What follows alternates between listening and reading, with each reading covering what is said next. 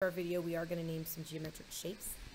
Um, I want to make sure you know how to do these as we head into more geometry stuff coming up. The first one is, is an angle. How do you name angles? You may have like a general idea of what an angle is, but it might be hard for you to even describe an angle or define it. But um, an angle is going to be two rays with a common endpoint. You've probably talked about rays in previous math classes, but rays are going to start with an endpoint and then go off into another direction. If I draw a second ray and I use that same endpoint, then I've got an angle. I'm going to go ahead and label a couple pieces, a couple points on this angle. When you name an angle, you are going to use the symbol for an angle. It kind of looks like an L, like that.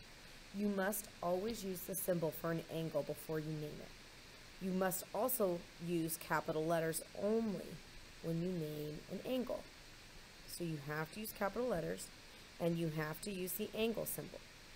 You will either use three letters or you might be able to use only one letter in certain instances and you could also use one number. So this is complicated because there's so many options. If I'm naming this angle that I drew, one way to name the angle is to figure out which, which letter is in the position of the vertex. The vertex is what we call that common endpoint. So B is the vertex. One way to name this angle is to call this angle B.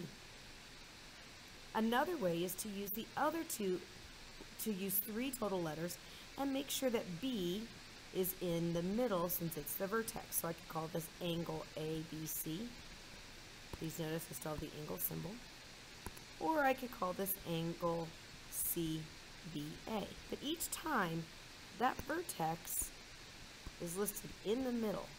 So you want to start on an end, go to the middle, and then go out to the other end. It's kind of one way to think about this.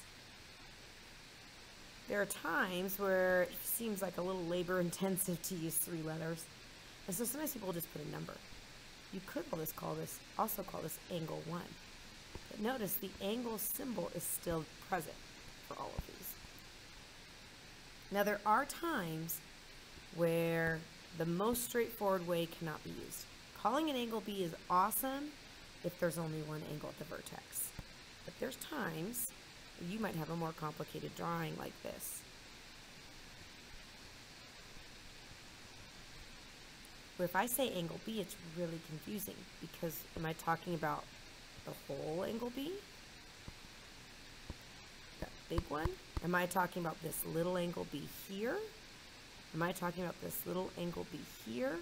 It's too confusing. So if there's more than one angle using B as a vertex, you will not be able to use the one letter option. You would have to use three letters instead. Or you could maybe use a number if it's not the big angle. We'll talk about that more in a minute.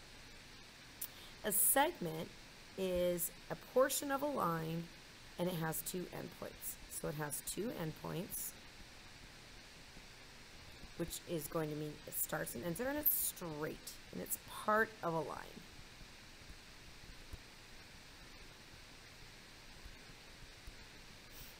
So if I draw a segment, it can be angled and turned around in all sorts of different ways.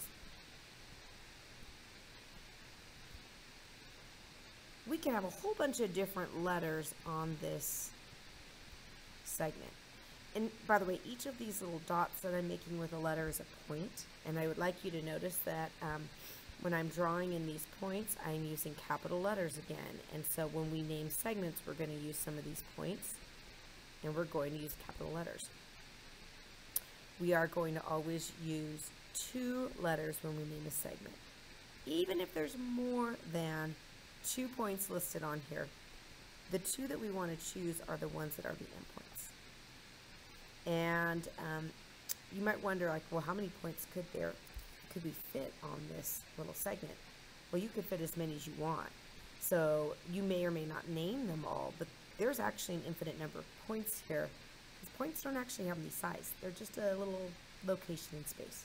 So we could have 5 billion points on this tiny little segment that we could squeeze in here, but we might only name two or three of them. Now let's say I wanted to name the segment that starts at M and ends at Q. If I want to name the segment that starts at M and ends at Q, I would name the two endpoints and draw a bar over them. Now it doesn't matter which endpoint you name first, but they have to be the endpoints. If I use MP, that's talking about something different. MP is just from here to here. I wanted the entire segment starting at M and ending at Q, so M and Q have to be the letters I use. They have to be capital letters, and we're going to draw a bar over them to show that there's two endpoints. Lines are also going to be straight, but they will not have endpoints. Lines are going to go into infinity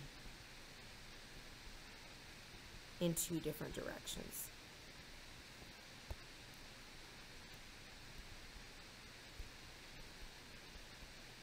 And when we name a line, there's a couple different ways. The most common way would be to use capital letters.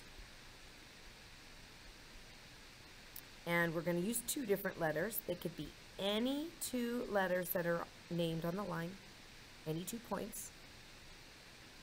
As I'll, instead of writing two letters, I'll write two points just because it might help us understand a little bit better what we're doing. And then um, we're going to draw a double arrow above them. There is an alternative way to name this, and that is to, to write the word line and then write some letter in cursive, like line P.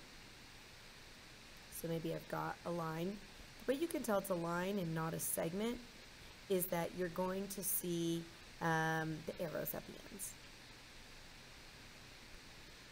If I wanted to name this line, I could pick any two letters, any two points, they need to be capital letters, and I will draw a double arrow above them.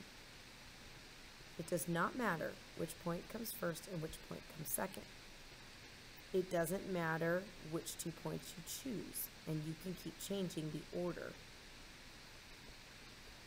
So there's a lot of options. Now I only named three points on this line, but there are more. There's an infinite number of points, and I could choose to name them and create more ways to name this line. There are times, this is less common, that you might see a cursive letter, an L, a P, a W, whatever, doesn't matter, next to a line. And then another way to write, to describe the sign is to write the word line and then to write a cursive lowercase letter. The last type of shape we're going to look at right now are rays. And when we're talking about rays, these are straight.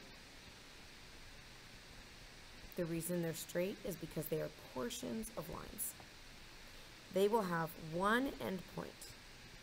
Unlike a segment, which has two, these will have one endpoint. And these will go to infinity in one direction. Lines go to infinity in two different directions. When we name array, we will use capital letters because we are using points. We will use two letters, but this one has a specific order where the endpoint must come first. The endpoint must be named first, and we will draw an arrow to the right above the letters. Even if the ray is not going to the right, we will draw an arrow to the right. Here's a ray. Question I have for you on this one is how many points are on this ray? To pause the video and think about that.